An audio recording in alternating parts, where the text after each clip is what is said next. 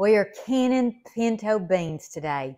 In the last video, I think it's the last video, I showed you how to cook pinto beans, really simple. Today, we're doing canned pinto beans. It's delicious to have. You can do refried beans, you can do bean burritos, you can do just a pot of, of beans. I mean, I did these yesterday. Mm-hmm. Just look delicious to me.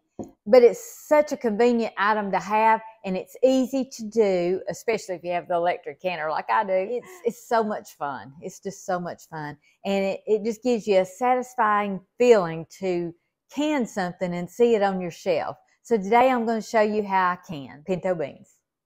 In the previous video where I showed how to cook pinto beans, I showed you how to pick through and before you wash them, pick through and make sure there's no rocks. I thought I would insert this video showing how I sort through my beans. So I put the uh, dry pinto beans on parchment paper where I can see good. And then I just sort through with my fingers looking for rocks, sticks, anything else. And then I wash them really good. This may surprise you, but I've had two people tell me since watching my other video on cooking dry beans, and I'll put that link in the description box, that they had no idea you looked for rocks and sticks. They had no idea you washed these beans. Now, last night I put my beans in a pot, covered them completely with water, maybe two inches above, and put the lid on it. Just let them soak overnight. This not only hydrates the beans, but it removes a lot of the gas.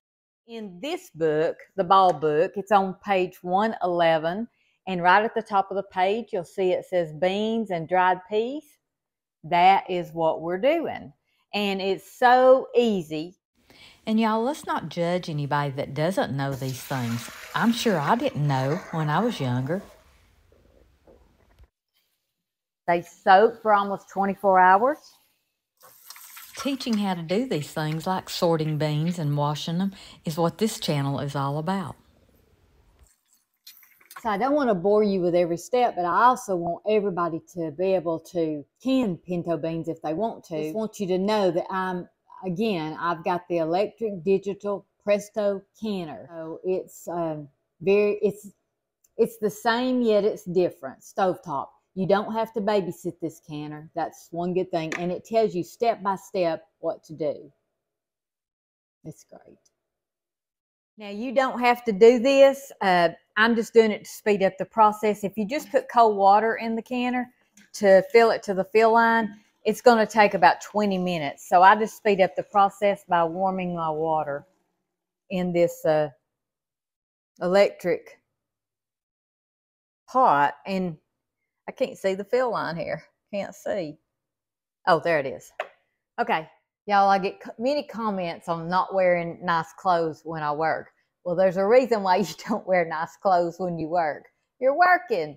So, but we are fixing to go somewhere and I want to get this going and uh, get it to the cooling. So now I'm pressing the timer and it tells you to set the timer for how long you are going to pressure can. I'm doing pints today I did quarts yesterday. I did. I don't think I showed you any of that. Uh, I have. Uh, I press that. It says to insert jars. It tells you everything to do. So we're going to warm my jars. So I filled them half full with uh, warm, uh, hot water, and I've filled my canner to the fill line with hot water. So the next thing I'm going to do is just set these jars down there. I think the water in them is just to weight them down. Now you can put eight pints in here if they're regular mouth pints. So I've set the timer, the pressure canning part to 75 minutes. It says insert jars. I've inserted the jars. Now I'm going to put my lid on. I do not have the pressure regulator on it. The good thing about this is you don't have to worry about when it reaches 10 pounds. It does it itself or whatever you need to reach at your elevation. So I'm going to put the lid on here. I've locked that. This is the temperature arm sensor and I've locked that. I've inserted my jars. I'm going to press the reset button. I'm trying to do this fast and easy because I've showed on previous videos how to work this canner.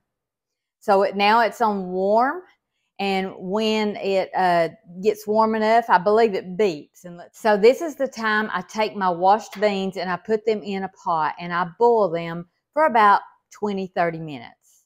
So if I didn't say it, if you have a different canner than what I have, you go by the directions of your instructions for your canner. Just trying to learn and teach a little bit about this canner. It is wonderful. When you boil your beans before you put them in the jars, sometimes you'll see a foam form on the top of the beans. They are fine. You can skim it off or they'll come off in the final rinse. Y'all, when I'm canning or doing something like this, a lot of times Sweet Hunter will be in the living room uh, watching TV. I use my AirPods. Took me a long time to get used to them. Uh, but my little eight year old grandson told me I had them in wrong. They kept cutting off. So let's see if I can remember. Yeah. So uh, I put these in and I listened to a podcast. If you've never listened to Grove Moments, very motivating spiritual podcast that I love. She's a good friend of mine. And if you want a good spiritual podcast to listen to, she's great. Other than that, I listen to Crime Watch and um, Crime Junkie. I love crime stuff. I'm crazy. I listen to a lot of homesteading stuff too. I listen to things about farms and chickens and animals. And um, by the way, I, I told uh, little Huddy that we're getting chickens pretty soon and some rabbits, and he is over the moon. He's so excited. Canner has beeped. I've got water uh, heating up to uh, put in the beans, and the beans are ready. Unlock the sensor arm. I'm going to remove the lid. It says to fill jars, so now's the time to do that. Pinto beans are a staple in our house. I love to make pinto beans and just have a pan of cornbread, big old bowl of beans. Oh, it's so good.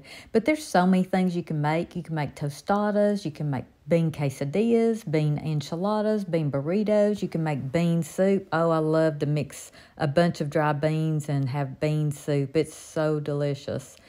Remember Laura Ingalls Wilder? Here's a quote from her from The Long Winter. There's nothing like good hot bean soup on a cold day, said her pa.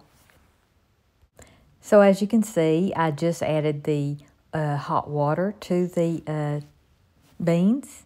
So far, I've added the hydrated beans. I've added the hot water up to an inch of the top of the jar. I'm putting the lids on and we're ready to can. Time to put the lid on. I'm going to lock the lid I'm going to put the arm, the temperature arm sensor down and lock it. It's told me to fill the jar jars. The jars are warm, um, and I've got them filled with the beans. So I'm going to press select. Now it's going to heat up, and the next thing it'll do is vent. Same thing on your canner if you have a stove top you just have to watch the uh, you have to set a timer for the 10 minutes. I don't. It will beep and let me know when that's so i'm going to finish my lunch and then i'm going to clean my kitchen. Do y'all eat standing up? I've always done it since my kids were little. I'm always busy and i'm thankful i can do it and i'm just thankful i can do it. Okay, you can hear the, the beeping. The digital electric canner is telling me to put the regulator on. So I'm going to use a pot holder because this is very hot. And I'm just going to snap it on. You put it in the can position. It will come up to pressure and then uh, it will start the canning process, which is 75 minutes a pint. Remember, if you have a different canner, go by your instruction book with your canner. The canner is done. It's cooled down. It says done. I'm going to remove the lock on the temperature arm and I am going to remove the lid.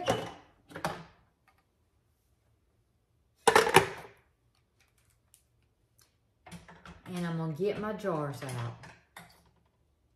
Isn't that beautiful? Just beautiful. You can put salt in these before you pressure can them. That is fine. I choose not to. I do all my seasoning when I cook them. Eight pints of pinto beans. Just a few more things about pinto beans. Uh, they're a great source of protein. Look, you can see them boiling still in the jars. I think that's cool.